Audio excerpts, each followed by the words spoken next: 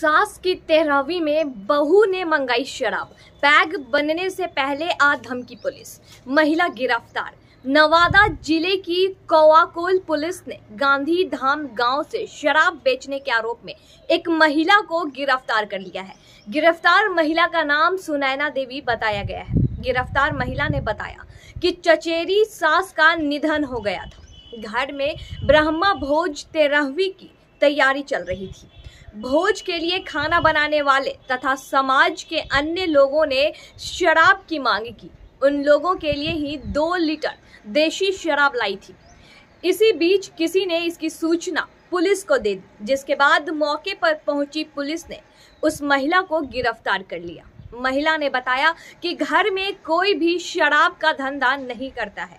इस संबंध में पूछे जाने पर कौआकोल थानाध्यक्ष ने बताया कि शराब मामले में महिला की गिरफ्तारी हुई है।